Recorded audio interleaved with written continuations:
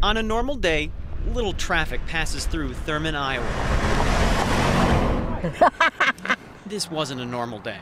Jim knew this horse. Dixie is one of the many horses Jim Bronco Hunter has met over the years.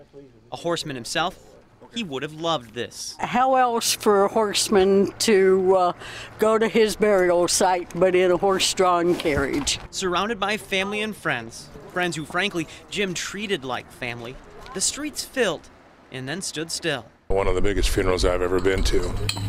He did it. When you reach the age of 80, sometimes few friends are left. One look at the procession following, you can tell Jim was the life of the party till the very end. Along for his last ride, Marcy Doran and Jim's son Gail. I don't know how to describe it other than special. Jim's nephew and riding buddy says there's too many stories to tell. You see, Jim was everyone's favorite, and the stories, boy, could Jim tell a good one. Humorous, they were serious, they were sad.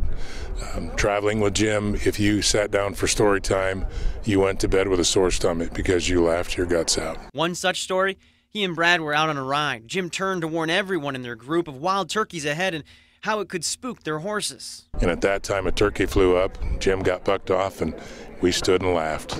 He was just a great guy. Everyone in this crowd had a story, a reminder that a life lived isn't lost, and while the carriage may be empty now, everyone knows Jim would have loved that very last ride. Reporting in Thurman, Iowa, I'm Matthew Smith, WOWT 6 News.